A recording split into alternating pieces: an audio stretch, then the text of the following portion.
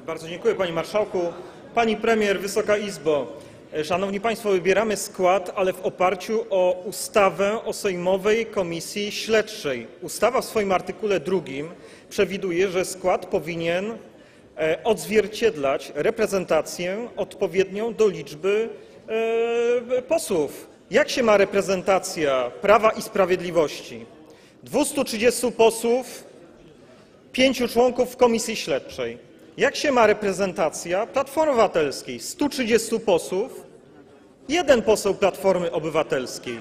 Jak to się ma do waszego pakietu demokratycznego? Po co wy w ogóle kujecie takie hasła, które nie mają odzwierciedlenia z rzeczywistością? I mam pytanie do pana, panie marszałku, bo pan, pan jest reprezentantem tak naprawdę Prawa i Sprawiedliwości.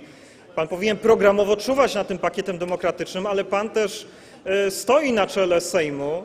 E, Prezydium Sejmu jest zobowiązane do wyliczenia tej odpowiedniej reprezentacji dla poszczególnych klubów. Dlaczego wy, mając doświadczenia, bo potraficie liczyć, liczyć, jeśli chodzi o wynagrodzenia. Szybko zwiększacie, obniżacie podwyżki, ponownie to kierujecie, ale dlaczego, jeśli chodzi o reprezentację Platformy, tniecie ją do, do, do jednego posła? Czego wy się boicie? Ta komisja powinna pracować w sposób merytoryczny, spokojny, w oparciu o ustawę, a na początku jej działalności doko, dokonujecie jej skażenia.